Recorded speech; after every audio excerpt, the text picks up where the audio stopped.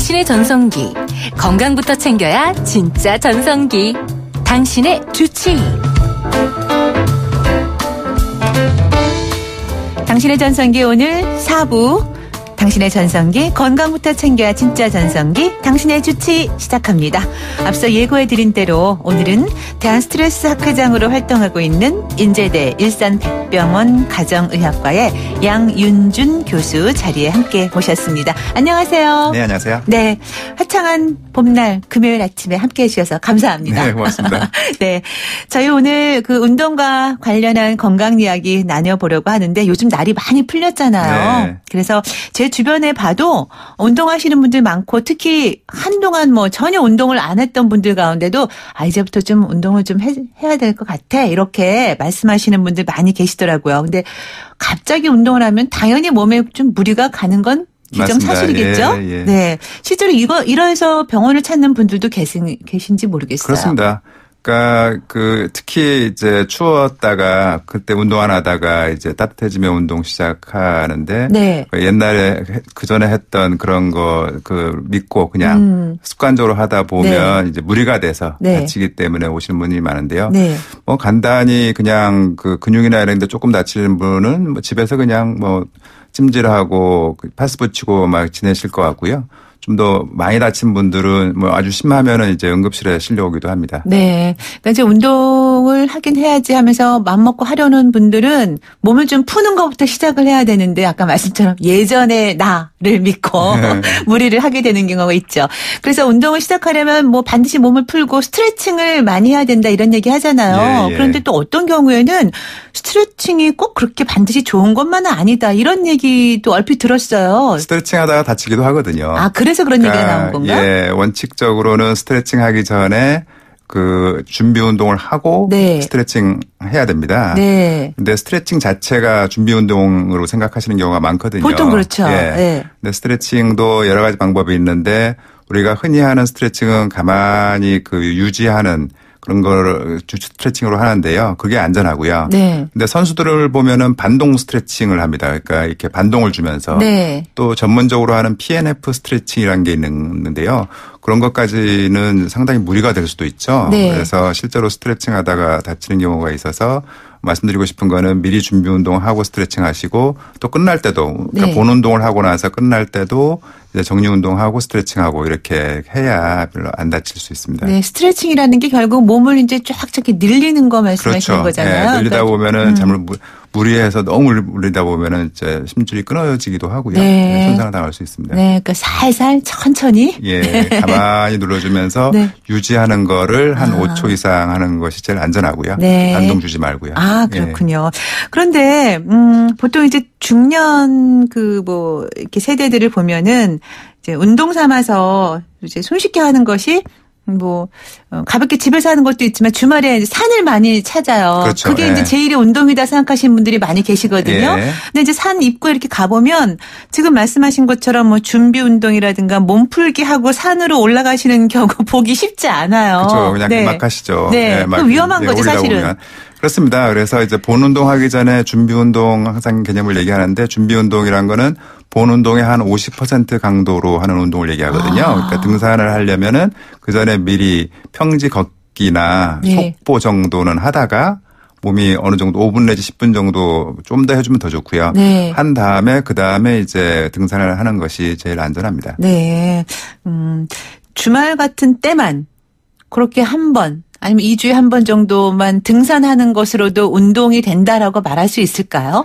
그거는 이제 꾸준히 했던 분들은 무리가 안 되고 운동이 됩니다. 실제로. 네. 그래서 옛날에는 일주일에 적어도 다섯 번 이상 해야 효과가 있고 문제가 안 생긴다 그랬었는데요. 운동 같은 최근에는 예, 그냥 일주일에 한 150분만 이상 하면 유산소 운동인 경우에 그 괜찮다 하고 있는데 결국 일주일에 한 번만 해도 된다는 뜻이거든요. 네. 근데 문제는 그 평상시에 계속 그렇게 단련이 됐던 분은 괜찮은데 운동 안 했던 분들이 갑자기 일주일에 한 번 그 우리가 주말 전사라고 합니다. 네, 주말 전사. 예, 전쟁에 나가서 싸우는 사람 주말에만 이제 싸우듯이 운동을 하다 보면 아무래도 막 무리해서 올라가는 예, 거. 무리가 돼서 이제 그냥 뭐 끙끙 앓을 정도로 그냥 나아지면 또 괜찮은데 네. 다쳐서 부상을 입게 되면은 더욱 심각하게 되겠죠. 네.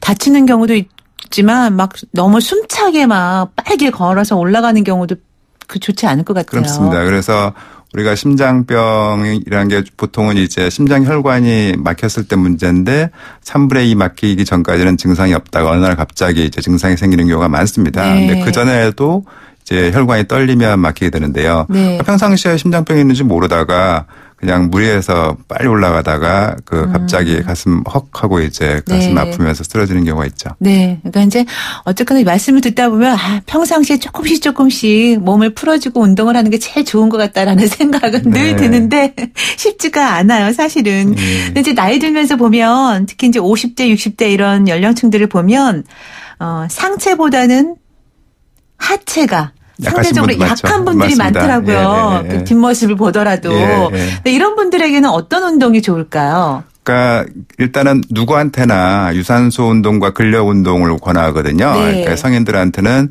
그 유산소 운동을 일주일에 150분 이상, 그러니까 음. 2시간 반 정도 이상 중등도 운동을 하라고 그러고 있고요. 네. 근력 운동은 일주일에 두 번 이상. 아. 그러니까 오히려 좀 쉬어줘야 됩니다. 네. 그래서 너무 많이 하는 것보다는 일주일 많아도 한 네 번 이하까지만 하는 것이 근육을 근육을 위해서는? 좋고요. 네. 예. 근육은 운동한 다음에 하루 정도 쉬어줘야 돼요. 좋아서. 네. 근데 이제 하체가 약하신 분들 특히 나이 드시면서 보통은 하체가 많이 약해져요. 그렇죠. 왜냐하면은 그 하체라는 것이 이제 계속 운동을 하면은 많이 쓰는 근육이라서 젊은 때는 많이 증가하는데 네. 이제 나이가 들면서 운동 안 하시는 분들은 이제 상대적으로 하체가 더 많이 그 가늘어지는 거를 네. 빨리 이제 쇠퇴가 되죠. 네. 그래서 하체 근력 운동으로 좋은 게 간단한 거는 이제 계단 오르내리기 얼마든지 할 수 있고요. 네. 등산도 이제 높은 등산 아- 아니더라도 얕은 언덕이라도 이제 하는 게 좋고요. 예, 예.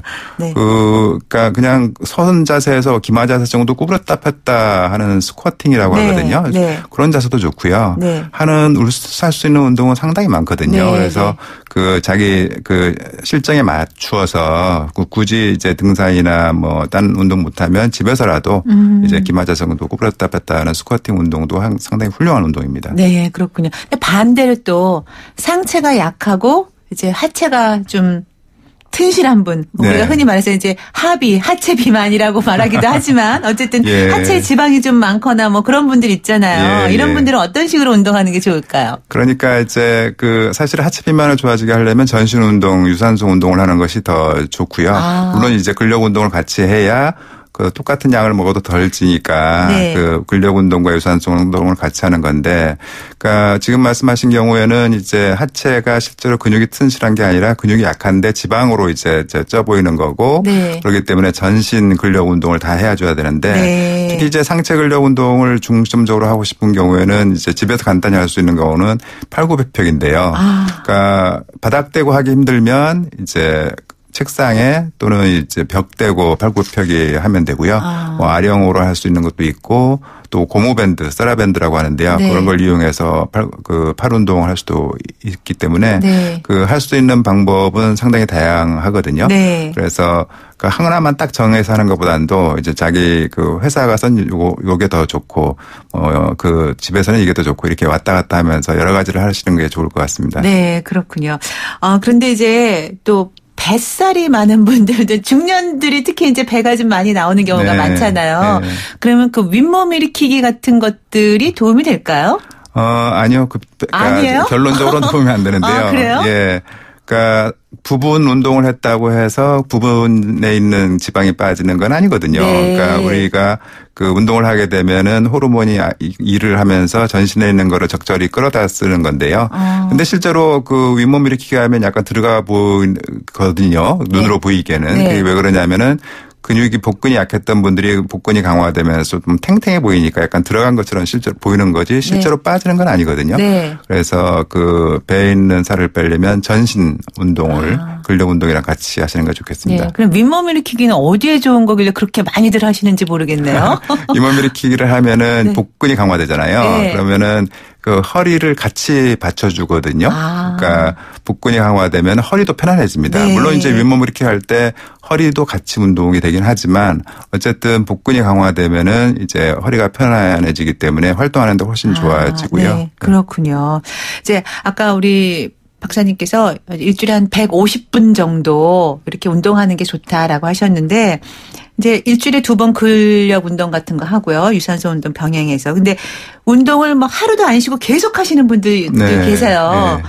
그거 쉬지 않고 그렇게 계속 하는 것 운동 습관이 돼서 하는 거는 어떤 건가요? 좋은가요? 나쁜가요? 무리만 안 되면 뭐 큰- 큰 문제 없고요. 네. 우리가 중독 중독 얘기하는데 운동 중독은 뭐 나쁜 중독이 아니라서 괜찮거든요. 네. 다만 이제 그 나는 오늘 운동해야 되기 때문에 뭐 딴 중요한 일정 뭐 음. 그 양가 부모가 만나서 만나서 인사를 해야 되는 상견례 자리인데 나 운동 때문에 못 가. 이런 거는 상당히 곤란하지 않습니까? 네, 그래서 중독이죠. 예, 나쁜 그런 거는 중독. 네. 진짜 나쁜 정도고 근데 그렇지 않은 경우에는 뭐 일주일 내내 해도 큰 문제는 없는데 네. 근력 운동인 경우에는 그 일주일 내내 하면 오히려 다치기가 좀 쉬워요. 네. 그래서 그 중간에 쉬어야 근육도 더 많이 커지고요. 네. 그래서 좀 일주일에 두 번 내지 네 번으로 한정하라고 합니다. 아, 그렇군요.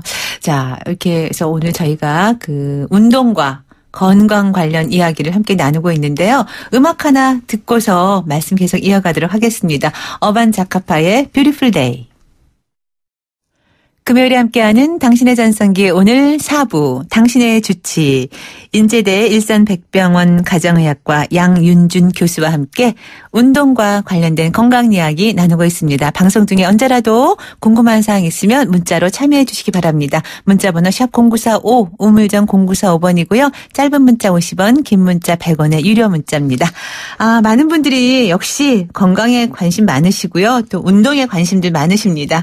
지금 5874님 68세 여성입니다. 전 근육 운동을 하고 싶은데 집에서 어떤 식으로 하면 좋은지 조언 부탁드립니다. 아니면 헬스장을 꼭 가야 되는지요? 하셨어요. 네. 일단 그 연세 있으시고 여성이신 분들 이런 분들은 꼭 근육 운동을 해야 됩니다. 네. 근육 운동을 보통 이제 남자들 젊은 남자들이 하는 것처럼 생각하는데 절대 안 그렇습니다. 꼭 하셔야 되고요. 아. 잘 생각하셨고요. 네. 근육이 늘어 그 좋아야 어디 아프지도 않고 또 똑같은 양을 먹어도 덜 찌고 그러기 때문에 아. 꼭 근육 운동을 잘, 잘 생각하셨고요. 네. 헬스장에 가서 여러 가지 하면 제일 좋지만 꼭 그럴 필요 없죠. 얼마든지 댁에서 할 수도 있거든요. 네. 그래서 기본적인 근력 운동 여러 가지가 있지만 코어 운동이라고 그래서 우리 배랑 골반이랑 허리 네. 이 몸의 중심부를 강화시켜주는 운동이 있거든요. 네. 그러니까 뭐 이름은 거창하지만 별거 아닙니다. 네. 그러니까 일단은 그 바닥에 엎드리시고 그 팔꿈치를 90도로 구부린 채로 음. 네. 이제 물론 이제 방석 같은 거 깔아서 이제 팔꿈치 안 아프게 하시고요. 그런 상태에서 엎드렸다고 생각하시고 상체를 이래 일으키는 거죠. 근데 네. 이제 허리랑 그 다리까지가 쭉 일자 모양으로 되게 보통 네. 엎드리라고 그러면은 이제 허리가 밑으로 내려가거나 아니면 엉덩이가 위로 올라가는 자세를 하게 되는데요. 네. 그렇게 하면 편하긴 하지만 운동이 안 돼요. 네. 그래서 그 일자로 쭉 되는 거를 그 자세를 유지하고 한 버티는 겁니다. 네. 그러니까 뭐 많이 많으면 뭐 3분 이렇게 버티면 좋지만 보통 한 30초 버티기도 힘들어요. 처음에 네. 하시는 분들은. 네. 그런 운동 꾸준히 하시고 네. 또 계단 운동도 상당히 좋습니다. 아, 근력 운동으로. 아, 네. 그렇군요. 그리고 아까 말씀하신 스쿼트 같은 거? 예, 네, 그렇죠. 예. 네. 그리고 8897님, 최근 몇 년 사이 몸무게가 늘면서 무릎이 아파요. 무릎에 부담을 안 주는 운동은 어떤 걸로 하는 게 좋을까요? 하셨네요. 예, 부담 안 주려면은 하- 각도가 중요합니다. 네. 무릎은 많이 구부리면 구부 릴수록 문제가 돼서 아. 한 30도 정도 구부린다 생각하시면 되는데요. 그게 기마자스 정도입니다. 네. 그래서 기마자스 정도 구부리면 별로 이제 무리가 안 돼서 관- 관절염이 있는 분, 네. 퇴행성 관절염이 있는 분들도 충분히 할 수 있는 운동이 되거든요. 네. 그리고 참고로 몸무게를 5% 자기 몸무게의 5% 정도만 빼면 이 관절의 그 관절통이 그 의미 있게 어 감소한다 그런 아. 연구 결과가 있습니다. 네, 그렇게 이제 어 관절 무릎 관절 때문에 고생하시는 분들은 일단 한 자기 몸무게 5% 네. 5% 정도만 살을 좀 줄여도 어느 정도 조금 음, 좀 나아질 수 있다라는 말씀이신 것 예, 같아요. 통증이 없어지고요. 아. 거기다가 이제 기마자세 그 무릎 운동을 꾸준히 하시면 좋습니다. 네. 그리고 9090님, 저는 양쪽 어깨가 특별히 다친 적도 없는데 아파서 병원 치료도 잠깐 받아봤는데 별 차도가 없고 주위에서 운동을 해보라 해서 로프 당기는 운동을 하고 있는데요. 좀 차도가 있긴 합니다. 혹시 더 좋은 방법 없을까요? 하셨네요. 예, 이런 분은 대부분 그 감입 증후군 또는 충돌 증후군이라고 충돌 증후군이라고 하는 병인데요. 네. 그 어깨 관절 그 하고 팔 관절 사이에 조그만 공간에 근육이 부어서 자꾸 충돌하는 거거든요.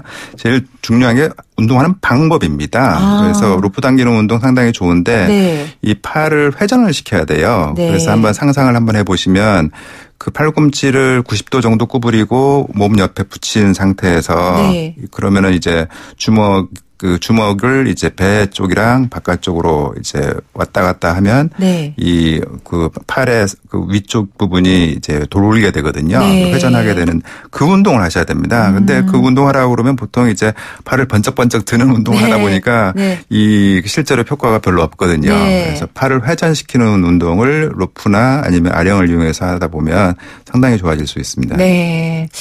그리고 1745님, 제 나이 52세. 헬스장 다닌 지 12년째고요. 와, 그러면 이미 뭐 네, 근육도 많이 한창 하셨네요. 가져지셨을 것 같은데요.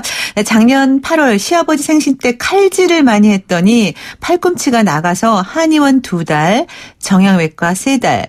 지금은 많이 좋아졌는데요. 지금 웨이트 트레이닝 해도 될까요? 그리고 한쪽 무릎도 뻐근하다고 할까요? 고민입니다. 그동안 열심히 했는데요. 인바디 체크했더니 근육도 많이 빠졌고요. 효과적으로 어떤 운동이 지금으로서 좋은지 조언 부탁합니다. 팔꿈치는 보통 이제 골프 엘보나 테니스 엘보라고 그래서 네. 그이 팔꿈치 옆에 있는 힘줄이 다친 경우가 제일 흔해요. 네. 근데 이것도 운동하면 상당히 좋아지는데 운동하라고 그랬을 때 팔꿈치를 굽히는 운동하면 안 되고요. 네. 손목 굽혔다 폈다는 운동을 하셔야 돼요. 아, 팔꿈치는 편채로 손목만 굽혔다 폈다. 예, 네. 편체로 하면은 또 무리가 되니까 아. 그 팔꿈치를 이제 의자 옆에 있는 그, 그 팔 이렇게 또 팔걸이. 놓아주는 팔걸이에, 네, 네. 팔걸이에 위치시킨 상태에서 손목만 위아래로 움직인다 아, 생각하시면 되고요. 네. 그 아령 들고 아령 네. 들고 위아래로 움직이면 그 손목의 주위에 있는 힘줄이 결국은 팔꿈치에 붙게 되거든요. 아. 그래서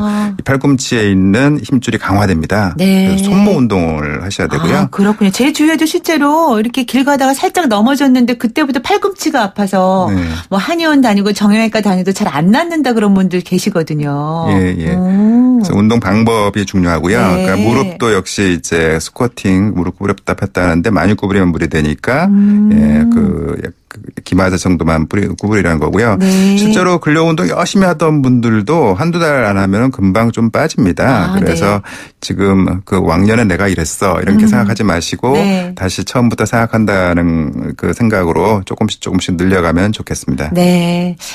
자, 그리고 2278님. 교수님, 택시 기사인데요.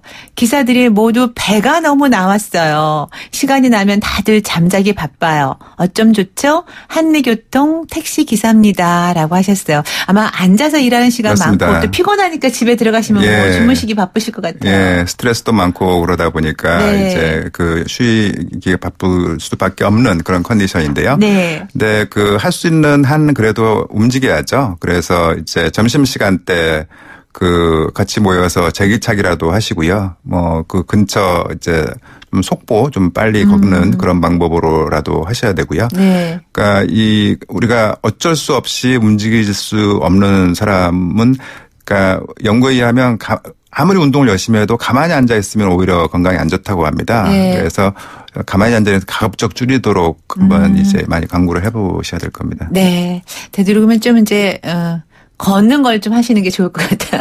너무 오랫동안 앉아 계시니까 시간이 없더, 없더라도 짬을 좀 내시면 좋겠습니다. 그리고 4249님, 요즘 들어 부쩍 운동을 어, 요즘 들어 부쩍 운동을 굳이 안 해도 팔다리가 너무 쑤시고 관절도 삐걱거려서 마그네슘이 들어있는 영양제를 먹기 시작했습니다. 이게 꾸준히 먹으면 도움이 될까요? 운동을 하려고 해도 몸이 아프니 엄두가 안 나네요. 하셨어요. 일단은 뭘 그 드시는 거 갖고 해결하기는 좀 어려워요. 우리가 일반적으로 옛날에 뭐 못 먹을 때는 영양분이 부족해서 문제가 됐었지만 네. 마그네슘이라든가 이런 영양소는 웬만하면은 그 우리가 먹는 게 다 많이 충분히 통해서? 들어 있거든요. 네. 예. 그래서 부족한 경우가 많지 않고요.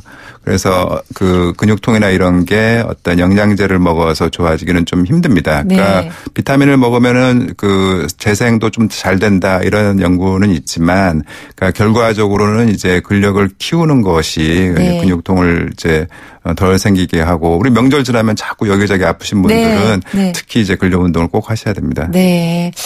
자, 그리고 6741번 쓰시는 청취자분, 네. 쉰 다섯인 남편이 최근 발바닥이 많이 아프다고 합니다. 매일 걷기 운동을 해도 괜찮을까요? 하셨네요.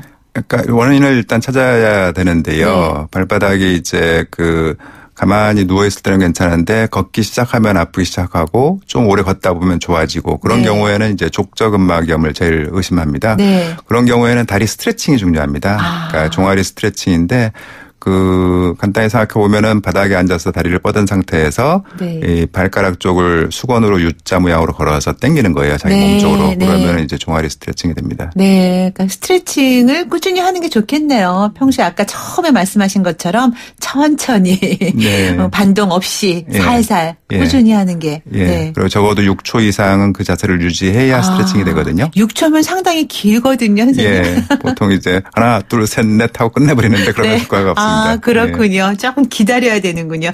자, 이렇게 해서 오늘 운동과 건강 이야기 나누다 보니까 시간이 너무 빨리 지나갔는데요. 끝으로 중년의 건강을 위한 일상의 운동 팁을 좀 알려주신다면요.